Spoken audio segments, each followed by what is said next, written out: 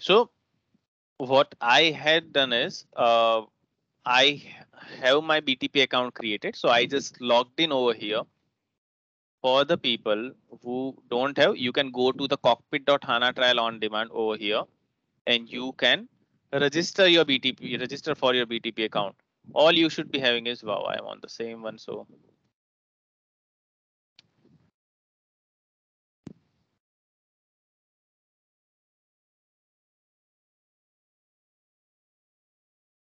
okay.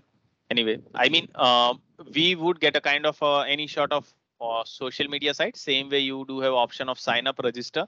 You would be able to register yourself and here you would need two things which should be very unique your email id and your mobile number. These two unique things if you have you would be able to create your trial btp account which would last for 30 days but in case we are a regular user it would get extended to 45 days first then 90 and then 365 days it would get extended automatically as soon as you start coming on the BTP trial account. After 365 days, your all the work that you have done would get cleared out to have it resetted because it is a kind of a you can think of a BTP as a public cloud. Multiple people are sharing the same platform. OK, if I just go to the trial account over here. Nice.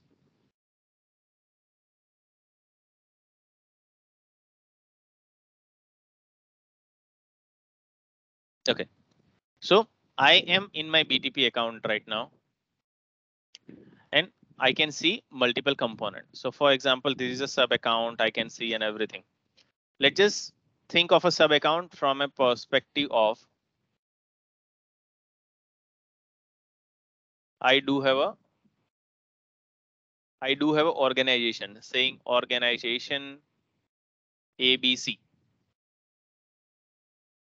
so this organization, whichever is there, that would have a dedicated global account. So this is my global account. So this is my trial account. But in case you do have a ABC organization, your organization, for example, EDU Oceans, if I do have a, so uh, I can say not trial, but a real account, it would be for my dedicated EDU Oceans. I can have multiple global accounts as well, not an issue depending on multiple subsidiaries a organization is having, you can have multiple global account. For one dedicated global account, you can have multiple sub account. Why a sub account is required? Because for an ABC, I do have multiple system. I do have a dev system where I want all the development work to be done. I do have a UAT system. I do have a prod system, or let's just say I do have some sort of pre-prod system as well. Any number of system do you have and you want to work with this landscape, you can dedicatedly create the replica, the number of sub account likewise. So for example, I do have a trial over here. Same way you can have n number of such sub account. So as a part of this sub account, so now let's just go back to the question that we were having, or let's just say go back to the concept that we were seeing that I just started my organization just started using BTP. And now what I want is my all the on-premise application that used to be served, okay, that uh, that used to actually work on-premise, I am fine them running on on-premise, but my actual front-end application, I want them to come via route of BTP. So in future, whenever I want to migrate to BTP, it would be easier for me. Perfect. So it means we are working on this node on premise. Perfect. And this on-premise node, if I just go over here, so this trial, what it would become? It would become my dev system. In my dev system, I want my Fiori development application applications development to be done. Then I would be migrating it likewise. If I go in my sub account over here, I would find a section. We would be going with the section as and when we need. So for example, I do have a section called connectivity. Perfect. In the connectivity, I do have a concept of destinations.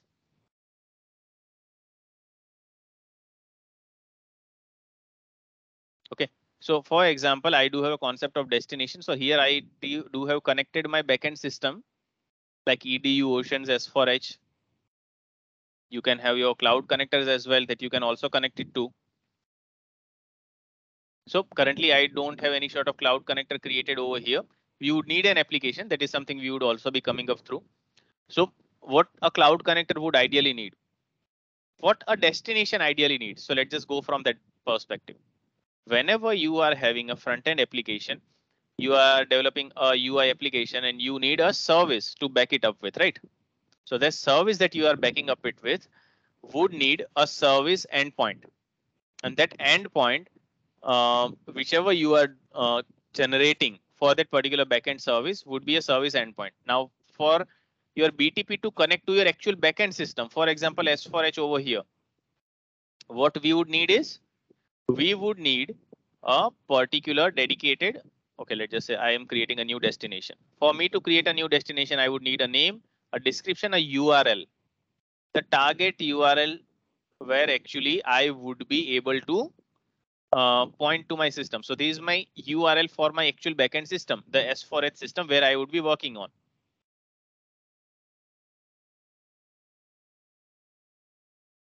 I'm not going in the account. But yeah, if you see this is my system where I would be connecting to this S4H system, then this system would have a URL, a service maintained. And that service I'm, I'll be maintaining over here. You can have multiple kind of authentication that you can also dedicate to.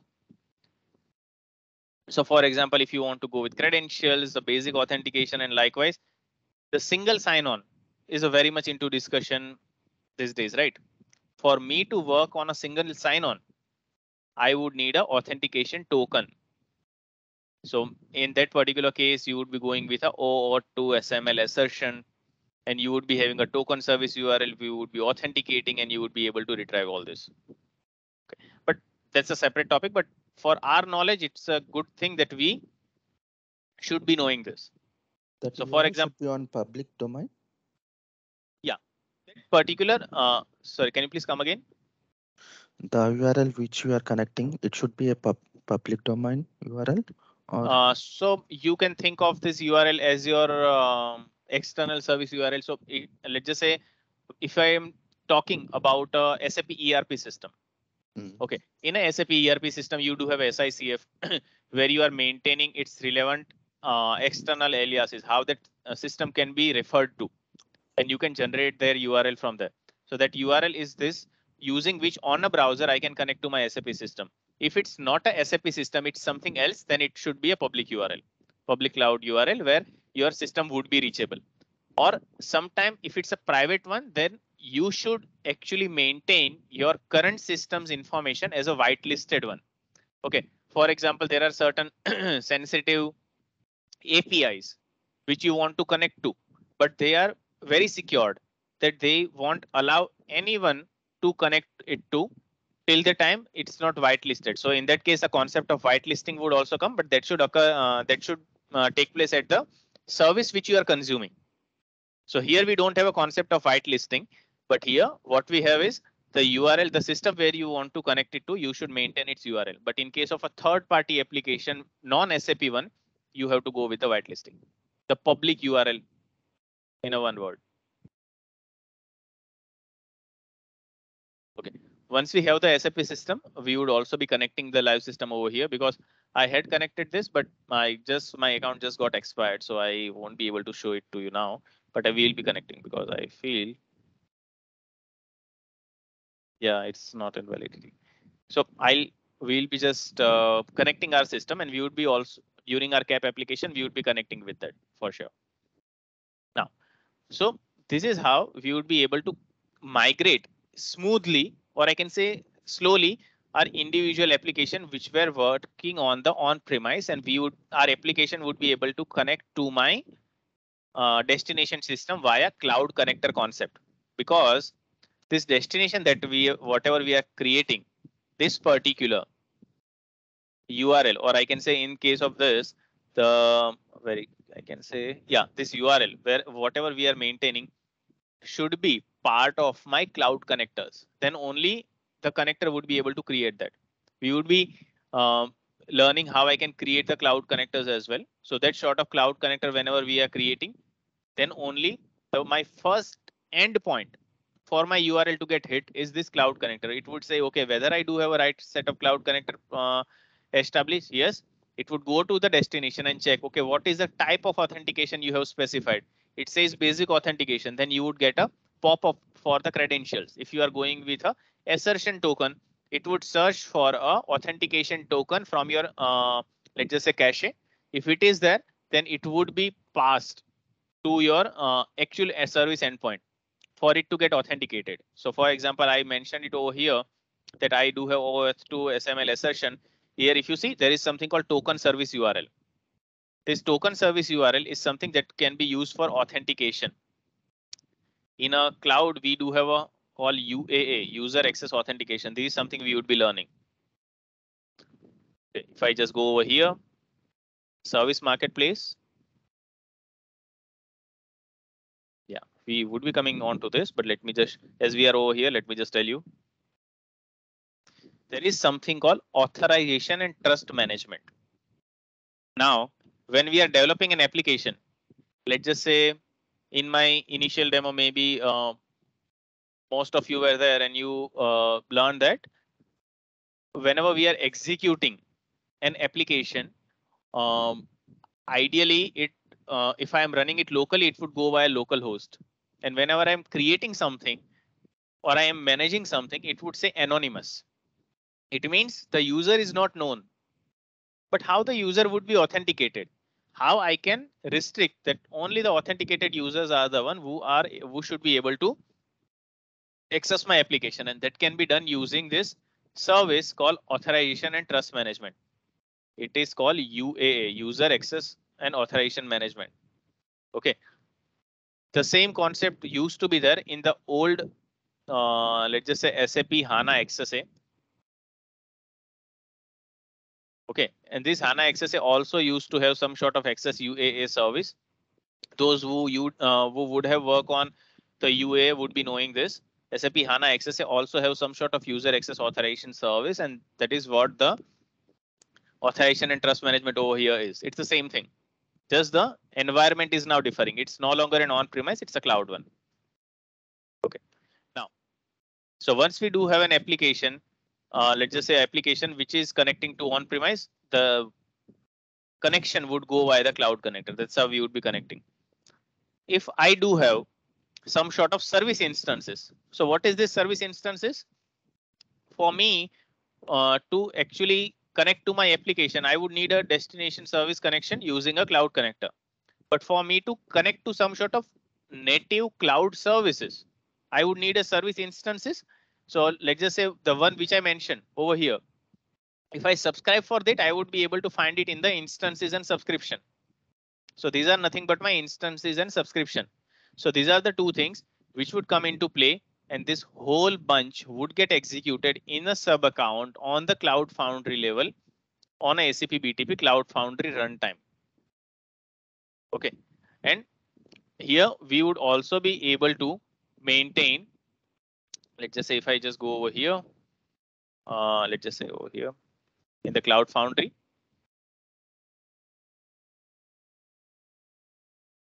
OK, we do have a set of members. OK, so there are multiple set of members. What is the role of that and uh, what sort of security group they belong to? We can create such security groups as well.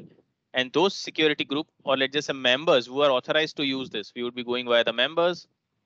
And here currently I do have one member going forward. We can add more members. So we would be trying to consume our service in a cross way. Let's just say I would be generating a service.